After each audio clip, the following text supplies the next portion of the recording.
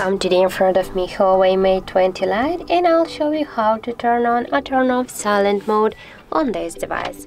So first you should go into the settings application and then just tap on the sound section.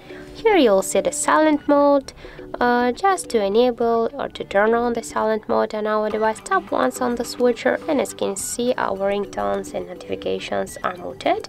And if you want to turn on the silent mode, just tap here again on the switcher and that's it and if you want you can sure also enable or disable the vibration in silent mode by the same way just tap once on the switcher so that how it looks. Thank you guys for watching and if you found this video helpful don't forget to leave a like comment and to subscribe our channel